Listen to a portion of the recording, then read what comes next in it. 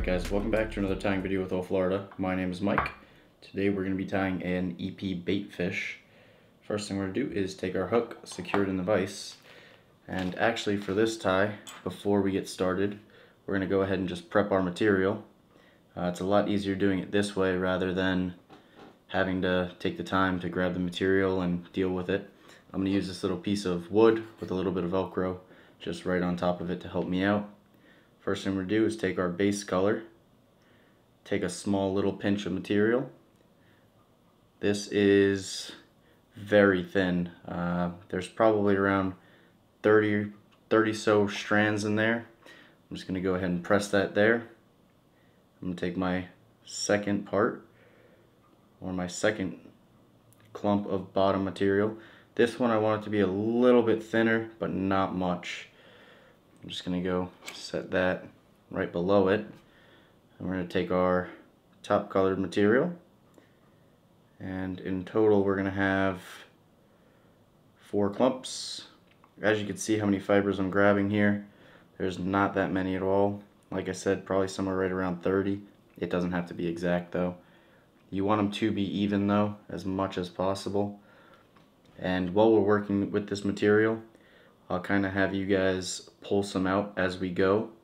It'll make more sense when we get a little bit further into the tying of this fly. Right here I grabbed just a little bit too much. I'm go ahead and just place that back on the clump. You want it just to sit nice and this is what we're going to be working with. I'm actually going to take my clump of a little bit bigger material on the first one, move it down here, and my little bit bigger clump down here. So these two are going to be a tiny bit more full than these two top clumps. These are going to be for the head section. These are going to be for the bottom section or the tail section. I'm going to get this big material out of the way. And now we're ready to start actually tying. So let's jump onto the vise. You take your thread. This is mono thread, so it's a little bit slippery. We're going to take it and we're going to start it a little bit behind the eye of the hook, maybe a full eye back, and then we're going to wrap all the way to a little bit in front of the barb, or sorry, in front of the point. Go ahead and trim that. Add one or two. So as you can see, I just left a little bit of room there. We're going to take this bottom material, we're going to cut that in half, directly in half, and then with our fingers, we're going to kind of just uneven it uneven the tips just a little bit. If you get any super long flyers, you can pull them out. Like I said, super thin little piece. We're going to invert the hook, push the point through the middle section of the material, and we're going to tie that in right in the middle of this material with two or three just super loose securing wraps just to hold it on there for now. You can pull down a little bit just to make sure that it cinches up just to hold in place while you take the pressure off of your bobbin. We're going to repeat the same thing with the next tail material. Just go ahead and take it off there. If you could feel the same kind of density of fiber, you want them to be as close as possible, as I said, in thickness. So, going to tie in the top section now another two loose wraps. We're going to tie it directly in the middle. The first clump, as you can see, we tied in. Now we're going to take this forward two wraps, and we're also going to take it backwards two wraps. And then with your finger, we're going to just kind of pinch so the materials kind of fold around the hook. The whole point of this, we want to cover this side of the shank, and we want to cover this side of the shank. So it's totally okay to come in here grab the material and really manipulate it, even if you have it tied in tight. So you take your finger and you just kind of move that material and roll it on its side. We kind of want to just cover the shank of the hook. It doesn't have to be perfect. You'll see as this fly goes, it starts looking horrible, but the finished product, it gives you an incredible fly. So after you kind of have that material just moved a little bit more around the hook, your thread is going to end up as far back as possible and what that does is when you fold it over and back, getting that bottom piece to go around the hook, just basically hooking the material and pulling it around. Now your thread is behind, if you could see, where I want my folding point to be. So when I tie it off, it's going to leave a little little bump over in the head. So I'm actually going to take my fingers before I tie this in. Take my thread back over. Once I have that, we're going to take our thread and just do one full capture wrap. So we have a full capture on that. We're just going to turn the fly around and make sure we get nice even coverage all the way around the shank of the hook. As you can see, it's pretty covered, which is good. It doesn't have to be perfect, but it definitely helps in the look of the fly when it's finished. So do two or three wraps right on that front super tight. So right here, if you want, you can get a little bit of Hard as Hull and you can put a drop there. You don't really have to, but it is kind of worth it. Uh, next step, we're going to go ahead, take our second piece of bottom material. We're just going to do the same thing we did the first time. Kind of just make it a little bit more, uh, I don't know, untapered. take that body material, invert our fly, go ahead and measure that out on the bottom, tie that in right in the middle. Nice two or three securing wraps just so it don't move around. It doesn't have to be tight, just to hold it in place. That's what I mean by securing wraps. Same thing, repeat this process. We're going to go ahead and untaper the ends of the EP fiber. Like I said, we're going to pull a little bit out of this clump just to match the density of this first clump that I had. and we're going to go ahead and lay that right on the top of the shank of the hook. Spinning the bobbin helps a little bit trying to capture it with mono thread because if you take off tension the thread likes to jump back. Tying with mono thread is a little tricky. We do have a video uh, called Tying with Thread Control. It'll definitely help out in this fly, so feel free to go and watch that. Alright, now that we have that tied in directly in the middle, we're going to go ahead and pinch and kind of just roll our fingers back and forth. This just spreads the EP material on the top and the bottom. And then we're going to go ahead and wrap back two or three, four wraps and get that nice coverage as you can see on both sides of the shank of the hook. We got pretty decent coverage. And then we're going to go ahead and fold these back. Like I said, the thread is going to be already in the back once you wrap forward and then back. Your thread's always going to be in the back. So when you fold this over, you're going to hook the middle of this bottom material, wrap it around the shank of the hook, and now we can pinch the head and make sure we capture everything nice two loose wraps. Now we can just go ahead, look around the whole shank of the hook, make sure we got pretty decent even, coverage, and if you don't, just taking your fingers and pinching right around, it really helps a lot. We're going to take two, three, four nice securing tight wraps. I know this doesn't look like much, but I promise it is to look a heck of a lot better once we get the next steps going. Actually, you know what? It's to look bad until we trim the fly, but that's okay. We're to come in here with our EP Sparkle. I like to just grab a little clump. I take a pretty healthy clump and I just kind of pinch it between my fingers. I'll run it down, taking all the excess nasty stuff off. I kind of turn it over. This stuff is very hard to work with, especially if you have a fan on. I'll lay it directly in the middle and I'll kind of just spread it over the material. I don't like using too much flash and now, as you can see, my fan's actually blowing. So it's going to be a little bit tricky to capture it, but I'm going to go ahead and spin my thread, do one capture wrap, move it out of the way, do a second. I'm going to go ahead and just pull some out because I put a little bit too much. Personally, I don't like that much flash in my flies. This just gives it a nice little scale fall, I like to call it. So it just shimmers in the tail a little bit. As you can see, you just take your fingers and pull the loose ones out. As you fold it back, you can put two or three nice little tight wraps right on the head, and then your flash is going to be blended in there pretty decently. I just like a little bit, not too, too crazy about a lot of flash in my flies. So, next we got these two patches of material. These are going to be a tiny drop bit uh, thinner than the other ones that we used the first time.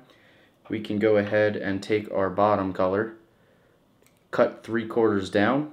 So I actually cut a little bit too much. Ideally I would have went a little bit shorter, but that's alright. We'll make it work for the video. So take that.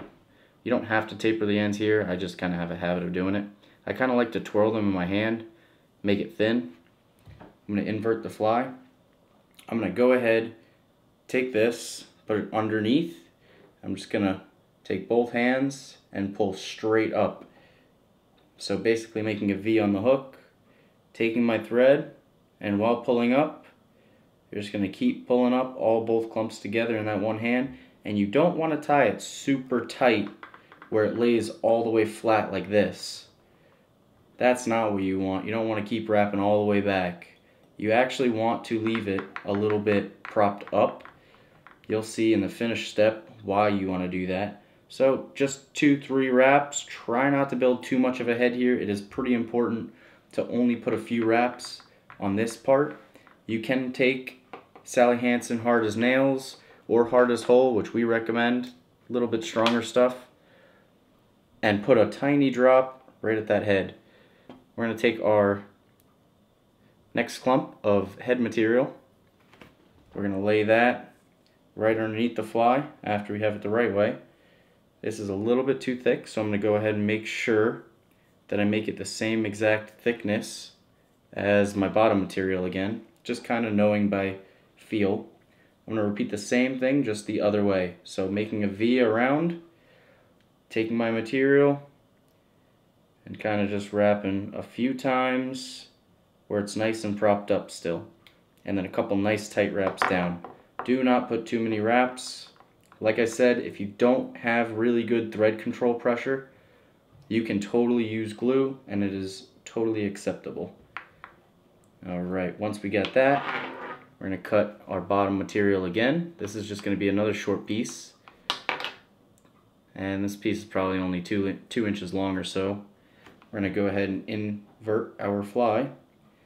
And we're going to lay this right on the part that we tied in. So on the mono that we tied in.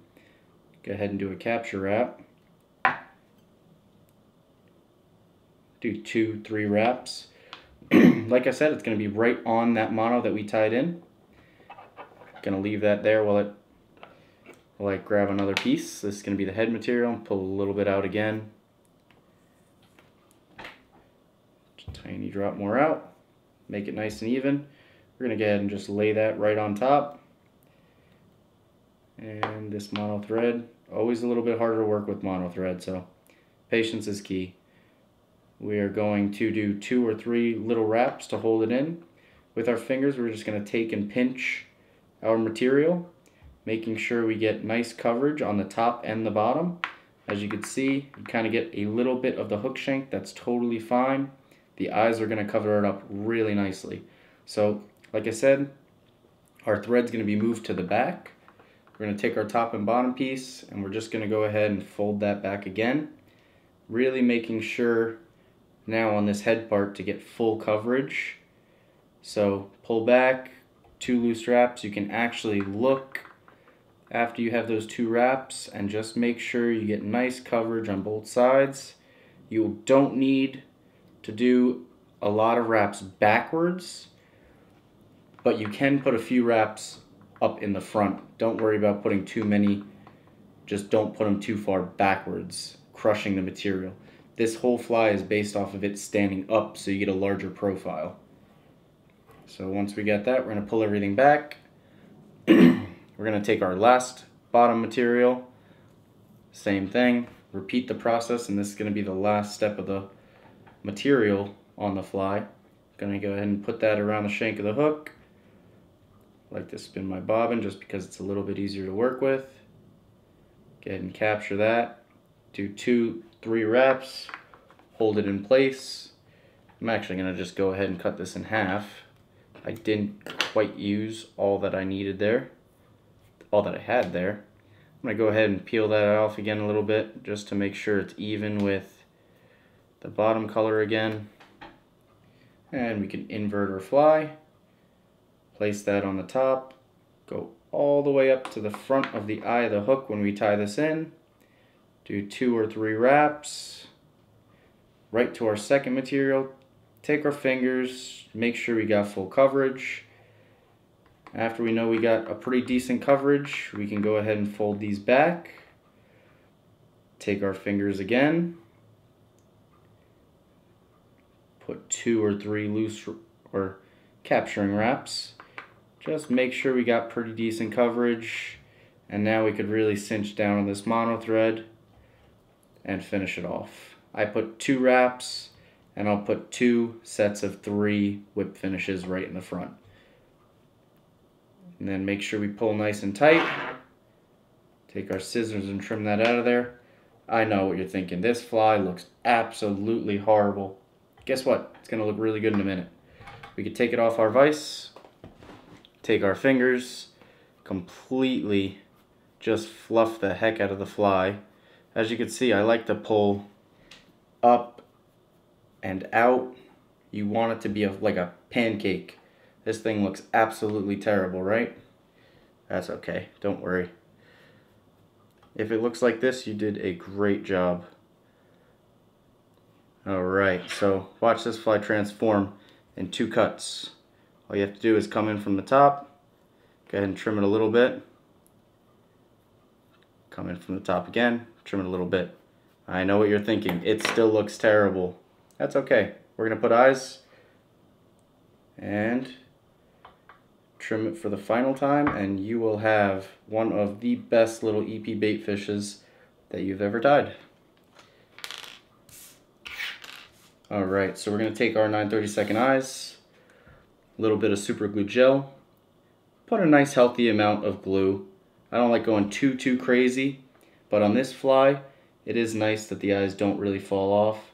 I put a nice little glob, and I just go ahead and put the eyes on covering right that big ball that we made with the two V-shaped tie-in points.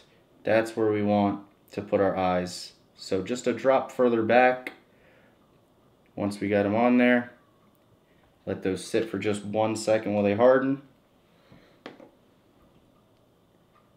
You can really put some pressure on those eyes just with your thumb, making sure not to get your thumb stuck on the eye because that does happen.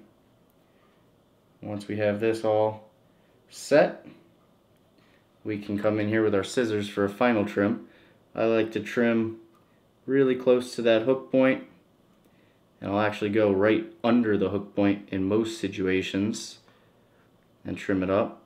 I like to touch the eye of the hook with the scissors and as you can see already, this fly is looking a lot better than it was three minutes ago. So do a top cut and then come in here underneath the point of the hook. Just trim a little bit from the sides if you put a little bit too much material. And then that's basically it. That's going to be the done fly. The best part about this fly is it's super, super easy to throw. There's actually absolutely no material extra on this fly, opposed to say big mullet flies that are known for big profiles that push a lot of water. This thing does not. It's just a big silhouette. It's perfect off the beach, tied in black and purple for the backcountry. You can go absolutely crazy trimming this fly, but in all reality, as long as it has a smaller little baitfish profile, it's probably going to get ate. Uh, this is just a greater, great all-around mangrove fly. Uh, you can tie it a tiny drop further back. All you have to do is start the fly a little bit further back. And if you want to add a weed guard on this, just take some hard mono, crimp it in the middle, make a little V, put it down and tie it in. I like to add weed guards on about half of them that I tie, just because throwing against mangroves, throwing against really, really skinny shallow water flats for redfish, uh, it's nice to have a weed guard. That's going to be your done fly. And I hope you enjoyed that video. You can actually add a little bit of glue up here if you want the extra durability. But if you don't, that's it. Just go ahead and throw it and catch some fish. As always, we're glad that you watched this video. We hoped it helped. If you'd like to see more tying videos that we have, click on our YouTube channel to see the full lineup or head on over to our website, oldfloridaflyshop.com. As always, we offer free shipping anywhere in the U.S., and we hope to see you guys out on the water.